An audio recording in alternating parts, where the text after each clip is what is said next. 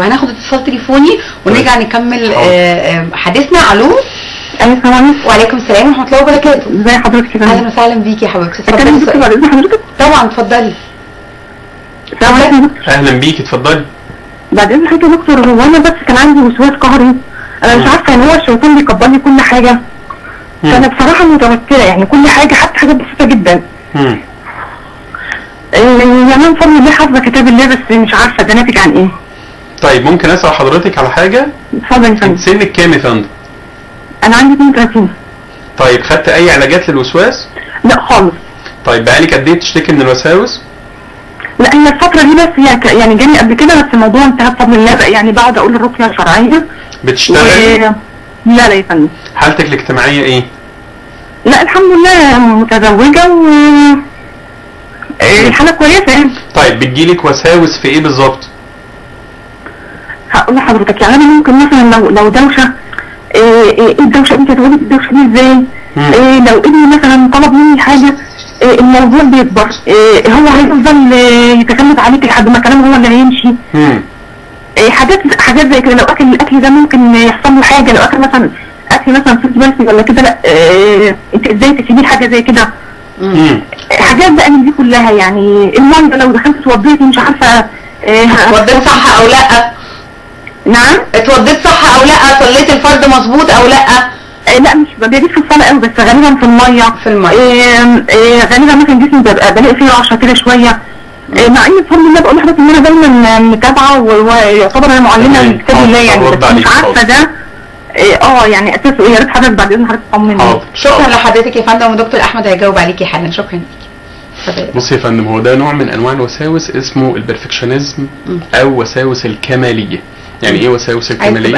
أحسن على أحسن ما يرام. آه جاي من perfect. بيرفكت إن أنا المفروض إن أنا أبقى بتعامل مع نفسي بأحسن حال وهنا إحنا بنترجمه على إنه حاجة اسمها all or none يعني يا كل حاجة كويسة يا ولا حاجة هو أنا آه، كويسة. خدت بالي من اتصالها الحقيقة آه. إن هي أكتر من مرة قالت أنا حافظة كتاب الله وأنا محفظ يعني بت- بتدرس آه، كتاب. الله. وبالتالي هي هنا حاسة إن هي حاجة آه، آه، كويسة قوي فهي عايزة تبقى كويسة قوي في كل حاجة وده ده- فعلا ده- حاجة كويسة إنها. تحفظ كتاب الله ولكن إحنا خلينا نخرج من من كلامها بحاجه أهم. وهي مسألة إن هل آه، التعلق الإيماني يغني أو يقي من الاضطرابات النفسية لا. وهل المؤمنون. مش بيمرضون نفسيا وهل إن الإي- المرض النفسي نوع من أنواع الخلل الإيماني الحقيقة ده سؤال إحنا نرد عليه في دقيقة واحدة تمام. الكلام ده يعني ظاهره الرحمة وباطنه من قبله العذاب. تمام. كل يعني إحنا لما بنلجأ للعلاج النفسي إحنا بنطبق سنة كونية وبنطبق فطرة إلهية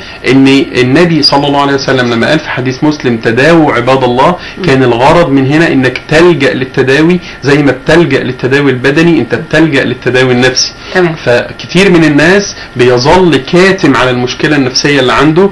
بعض الوساوس أستاذتي بتيجي في مسألة الشك في الذات الإلهية الشك في الصلاة الشك في القرآن الشك في الديانة الشك في المسيح الشك في وأنا بصلي في أي مكان تاني الشك في كل الديانات. حاجات كلها مع مختلف ديانات الناس بتبدأ تشككهم في معتقداتهم وده اللي إحنا بنسميه شك العقيدة. تمام. تمام؟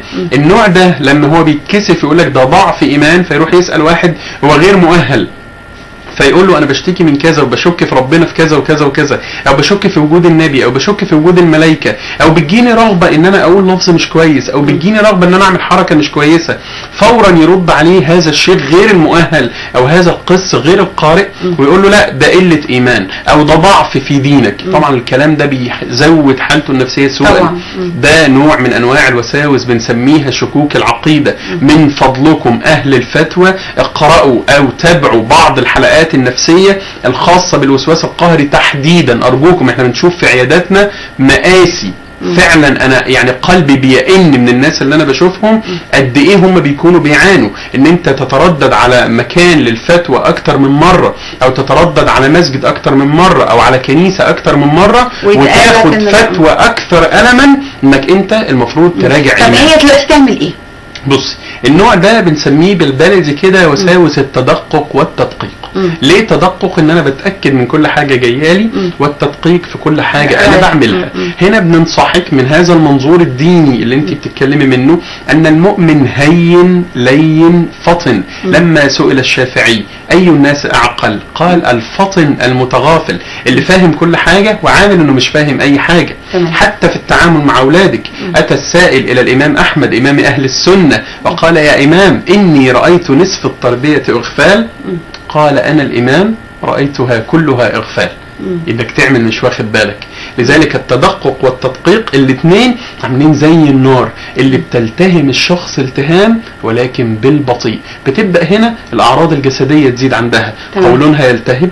الصداع بتاعها يفضل في ازدياد. سكرها يتلخبط وضغطها يعلى وينزل. وما تقدرش تتحكم في كافة أعراضها البدنية. ثم يزيد عليها التوتر ويبان عليها القلق وتبدو عليها مشاعر الاكتئاب وتعيش محاصرة في كم من الوساوس وتخسر علاقتها بالناس. تمام.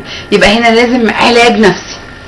إن ما قدرتش تعمل الكلام ده وتفاقم أمر مشكلتها عن أسبوعين مم. عن أسبوعين لازم. لازم تلجأ لمتخصص نفسي.